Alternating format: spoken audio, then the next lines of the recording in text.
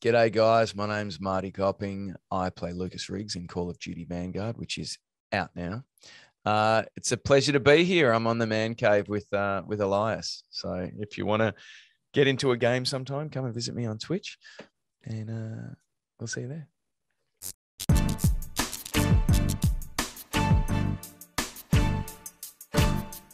Martin, welcome to the cave. Thank you so much, mate. It's great to be here. How are you, my friend? I'm good. I'm just uh, just brewing my morning coffee while I'm talking to you. There you go. Uh, exciting gotta- time. Uh, Call of Duty, Lucas Yep. Rig. Yeah, yeah, it's uh it's been an interesting interesting couple of weeks with the release of the game. Um yeah, obviously very exciting. We had the premiere a couple of weeks ago downtown LA and um, all the billboards and posters have been going up around around the world, which is very surreal. Yeah, I can't wait till we talk more into that. I was doing some research on you. Born in Australia. Yep, yep, Melbourne, Australia, and moved out here uh, around 2008. Uh, so what, what made you do the big move and uh, how did you decide to get into the industry of like uh, even acting and just voiceover? Yeah, I've been doing voiceover for for a long time. Uh, I did. I used to do poetry readings and radio uh, radio plays back in Australia uh, when I was at drama school, and then moved over here and got a got a voiceover agent. You know, primarily I'd been working just as a theatrical actor, uh, film, TV, and theatre, and uh, but have always loved the voiceover work. And I, you know, I'd been doing commercial work before I moved over here in Australia and uh yeah got a voiceover agent and then did a lot of voiceover auditions and nothing really hit here um until about 2000 i think 15 Oh wow. I booked my first job and you know my agent who's a very dear friend of mine uh she she's like look it takes time to break in once you're in generally you're in and uh yeah since that job sort of things have kept rolling which has been great I saw you've done some TV also. What do you uh, what do you enjoy more, the TV, the film, or the voiceover? Um, from the work that I've done, I've I've probably had more of a chance to really sort of explore characters on uh, in film and, and gaming. Um, I do love television, uh, but yeah, I've probably I've, I guess I felt a little bit more at home with the with the film and TV. uh, Sorry, the film and video game roles that I've done. Uh, I would love to do more TV, but um, yeah, I haven't I haven't sort of delved too much into it in No. in the states. I did quite a lot when I was in Australia, which I really enjoyed. Mm. Um, but you know, it's performance is performance, and I think if you're working with a really good team, um, whether it's film, TV, gaming, theatre, it, you know, it's y- you can you can get a pretty similar experience. What's the difference between auditioning for like you know a TV or like film role and then voiceover? Um, so well, we've got the two different sorts of voiceover. You know, you've got your standard commercial work, and then and then you've got the you know PCAP that you would do for um, things like video games and uh, animated series and what have you. And if there's performance capture, it's it's very physical. So you want to be very very prepared. Um, and uh, because you know you you might have to move around a lot of you know some of the video game auditions you're literally in a battle um, and i've found with film and television auditions you're less likely to have super action orientated um, scenes in the audition that might Yeah. come you know i've done a lot of action films um, but generally they'll choose a more dramatic scene whereas a lot of the, the gaming auditions, you know, I've, I've walked through a volume in an audition pretending to hold guns. And I remember the first one I did years ago. I had no, I wasn't quite prepared enough and I had no idea what I was doing. And next thing you're running through a room with rubber guns, um, which you're not really going to be doing uh, on a theatrical audition for film and television, you know? Mm. How did how did you uh, fall into the video game industry? Because you've not only done Call of Duty, you've done other video games as well.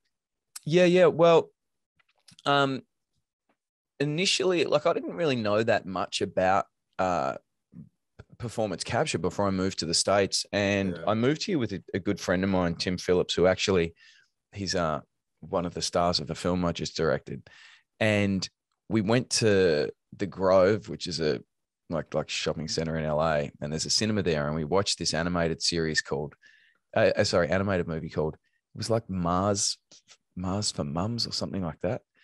And at the end of it, they showed all of the actors in their PCAP suits, and Okay. you know they're they're in the volume, uh, Yeah. doing performance capture.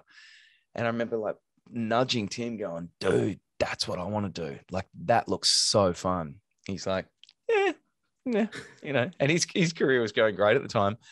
Cut to six months later, he booked a uh, the lead role in of Dante in DMC Devil May Cry, and spent months on the volume, you know, shooting performance capture. And I'm like, "Damn, that's what I want to know. um, but then, yeah, I you know I I did a I did a little spot in Infinite Warfare, and then the uh, Rainbow Six job came up, which was uh, fantastic. And initially, that was just voice work, and then uh, they did some cinematics for the Tournament of Champions, which was a huge event in 2020.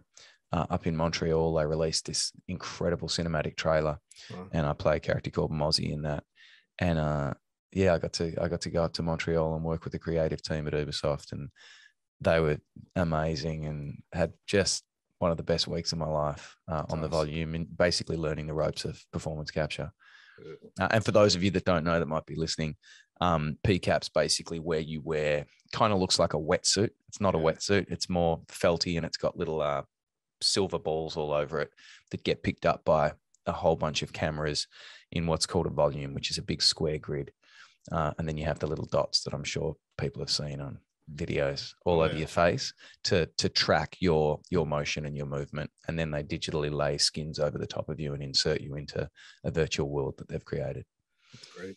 So yeah, let's talk about Call of Duty. How crazy is like the fan base for Call of Duty? Like every year, people wait for the next game just to come out.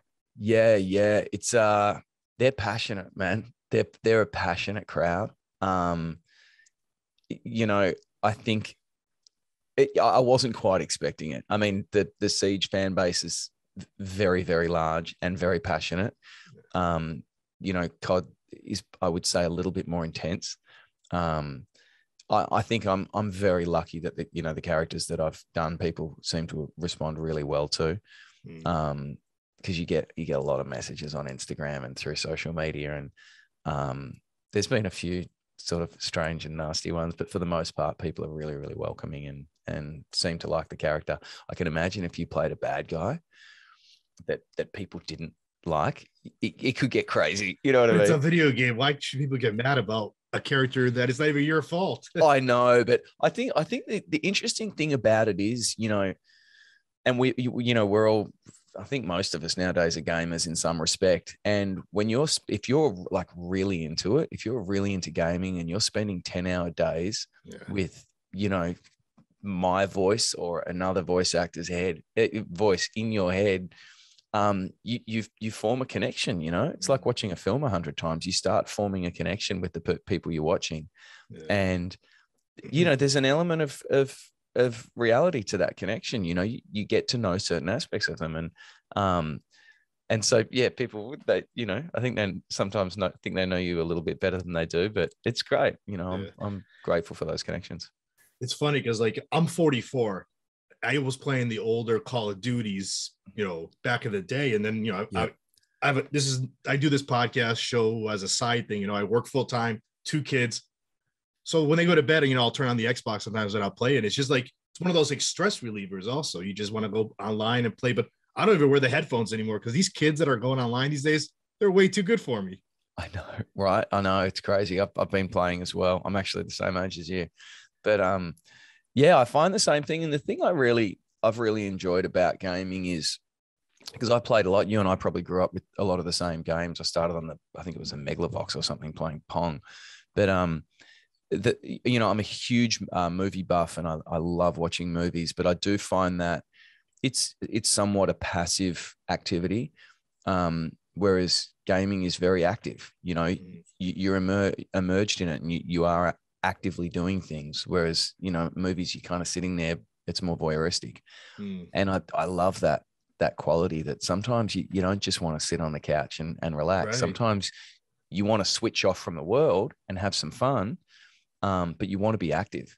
and that's where I've I've loved you know gaming. I've been getting into Warzone lately, and uh, mate, you, you like you come out of it, your heart's you feel like you've been at war. You know, yeah. it's amazing. It's amazing how how far you know gaming's come. Oh. So what was the process for this? Uh, how long did you do the voiceover and like did you do your own stunts in it also when you're wearing the uniform the the, thing. some some of the milder uh you know action sequences I do, but um you know I think the team at Sledgehammer was very uh you know careful not to let us do anything too dangerous. There was a, a really talented stunt cream uh, stunt stunt team there. Uh, and stunt coordinators and anything that was that was hairy, you know, they'd take care of, which, you know, I'm I'm not against. I do love doing some of my own stunts when I'm doing films, but you know, you hurt yourself and you you're offset, and especially during COVID, um, I don't think anyone, I don't think they would want to risk anyone getting hurt ever anyway. But I, I think it was very much a situation where it was like nothing can go wrong on this because we, you know, we Mm. need we've got a time frame and we have to deliver. And um, with the COVID restrictions that we're on, if anyone got COVID or or got injured, it could have, you know, really delayed release. Yeah. But um, yeah, it, there was a few different stages. I, I started off on the volume and did all of the the performance capture, and then once we had all that down, I, I kept going back into the studio and um, working with Dave uh, Swenson and JB, the director, uh, as a creative director and director, and you know we do a lot of the voice lines uh, that were sort of pickups for other uh, animated sections that I didn't necessarily um, do. Because you know you you go in you, you go into this ROM, um, which is where they do range of motion on your face, and it's like this crazy big silver ball with hundreds of lights and cameras all around you, and they film you from every angle. So they basically digitally map you so they can, I guess, recreate you for the Yeah. rest of time, which is awesome. And we've heard about actors doing that, you know, digitizing their face so that they can keep using their likeness until the dawn How of time. cool is that? Seeing your face on a video game. Do you want to know how cool it is? It's the, it's the coolest fucking thing in the world. it's so weird, man. The first time I kind of started seeing the concept artwork, because it looks like you, but it's not you, but it kind of is you. But you know that it was you that made that. And it, man, it's a trip. Um, especially when you're watching clips of your character fighting in the game, getting blown to smithereens Yeah. that's weird. That's very weird. Yeah. Um, but I love it. I really do. And um, you know, they they they used our likeness and did an amazing job. Uh, it you know, I feel like I'm looking in the mirror. How funny is it like the video game industry has changed so much now that you have to have like even like a director for a video game Yeah, yeah. or I mean, a producer.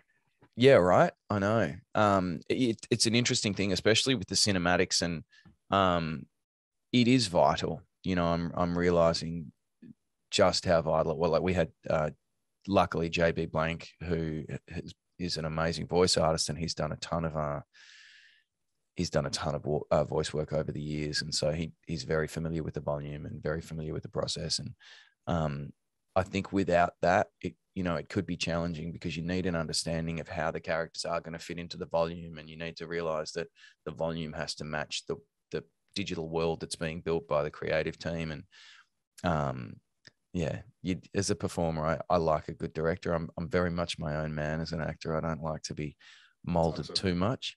Um, but you know, if you're working with a great director, it's like you just listen and do what they say as much as possible. I dig my heels in at times on every job. I'm like, no, I do, yeah, I do things my way. You But that's just you, me being stubborn. you, you mentioned uh, about the the premiere that was a a few days ago. What so like for a premiere for a video game, what do you what exactly do you guys do? Because it's not like a film or you know movie or TV show. You actually go and watch the release. So what's the difference for a video game Right. premiere? Well, yeah, I guess that's the interesting. This is the first video game premiere I've been to. Um, I've been to film premieres and and premieres of TV shows and stuff, but uh, well, you can't go inside after you do the red carpet and watch the film because Yeah. it's 16 hours of gameplay or you know whatever. That's how long it's taking me on veteran mode. But um, you know, it's it's not it's not sort of possible to sit down and watch that much content. But uh, for this one, they had a I, th- I think it was streamed on YouTube. I should watch it. I mean, I was there, but I should watch it. But um, you basically, you know, we walked the red carpet with the with the rest of the cast and and some of the creative team, and then um, it, at the theater that we had it at upstairs, they had uh, four, I think they had four PlayStations set up, so that people could play wow. the games, wow. and there was like a, you know, it's like a big um, bar area and they had delicious food and there were hip hop stars and like the, some of the Lakers were there. Um, and then when you go into the actual theater part, um, they had Courage playing some of the games. He's a he's a streamer and a gamer, and uh, and then and and you know you got to watch the levels and um, they did select uh, parts of different levels so that you could get a feel feel for the whole game. And and then they ended up pulling up this curtain and the LA Philharmonic was playing oh, wow. the score to the game live to the gameplay. It was wild. Um, and T-Pain was hosting and then you know he came out on stage and and he was rapping and then Migos came out and did like a full show it was it, honestly it was so much fun. Um yeah I could do it every week did you did you go on stage too? Did you go rap?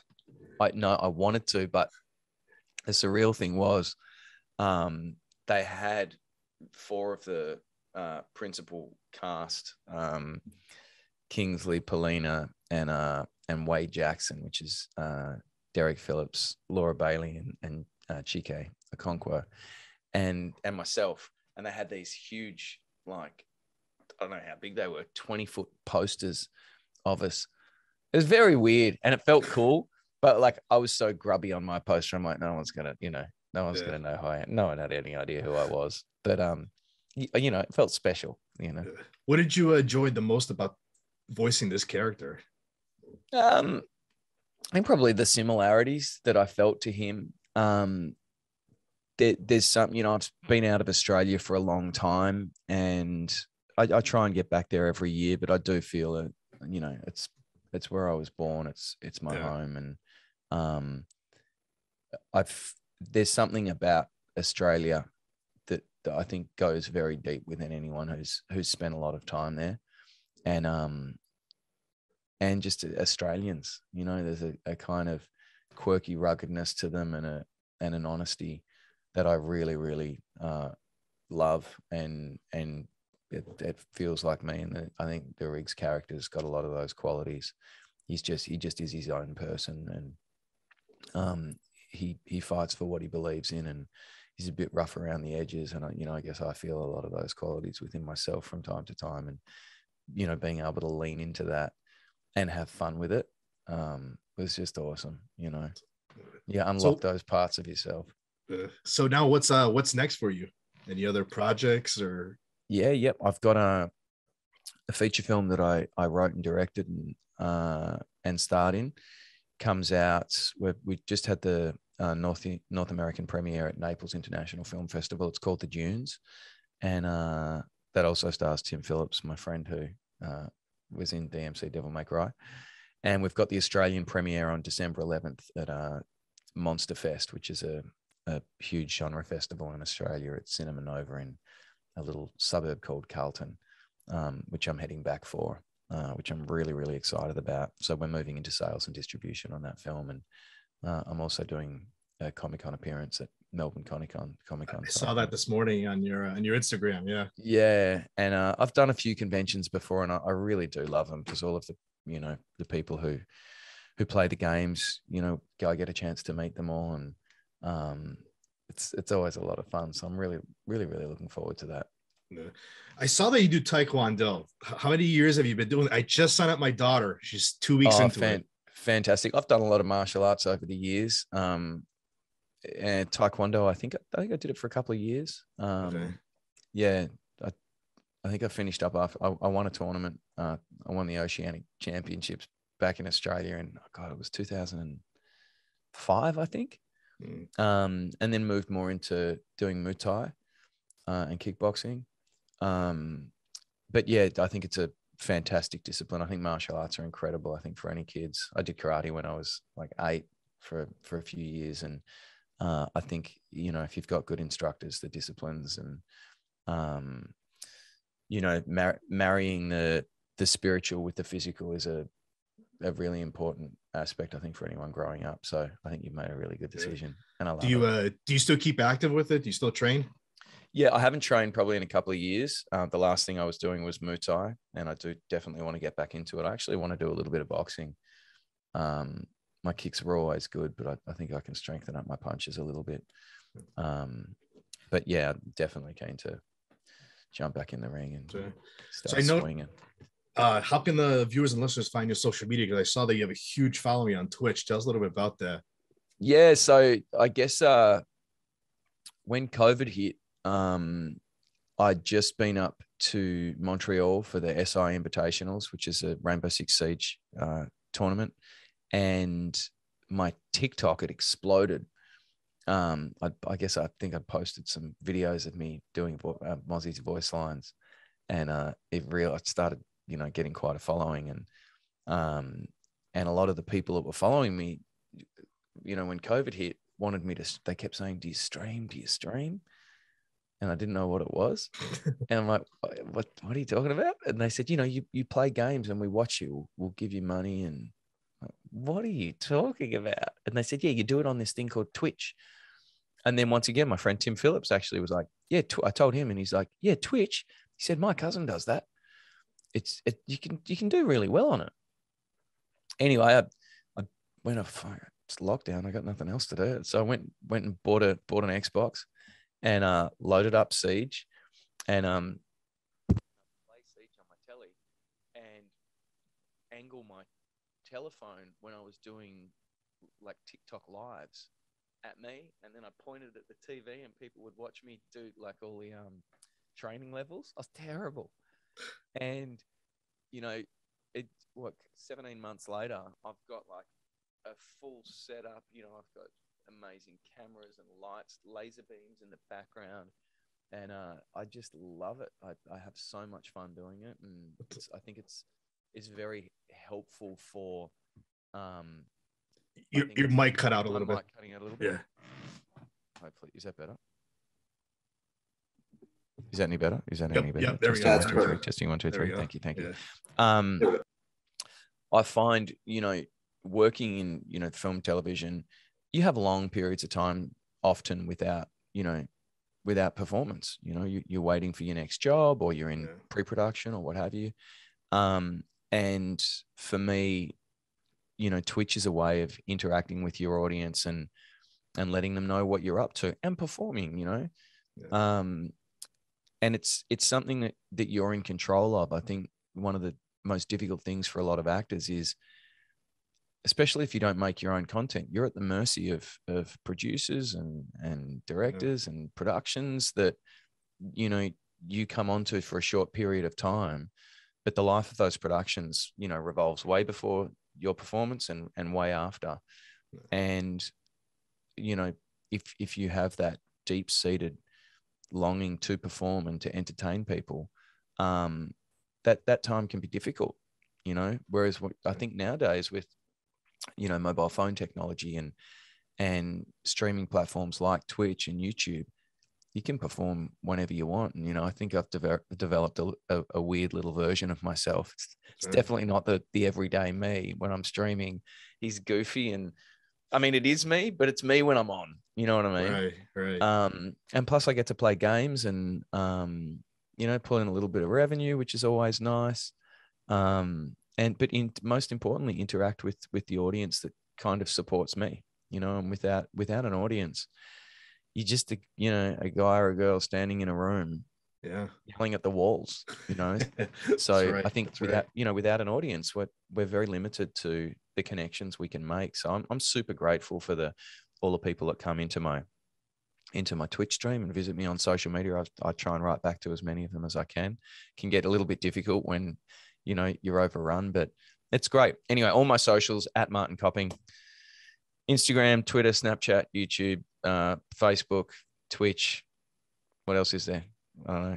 think On pretty much every. Yeah, I'm on pretty much everything, but it's always at Martin Copping, and um, yeah, it's it's fun, and I'm getting better at the games, which is the best part.